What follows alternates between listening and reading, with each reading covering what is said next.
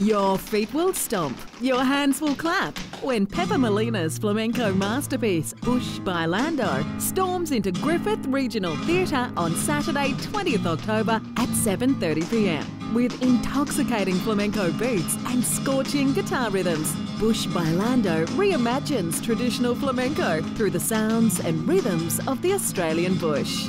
Tickets on sale now at Griffith Regional Theatre. Ole!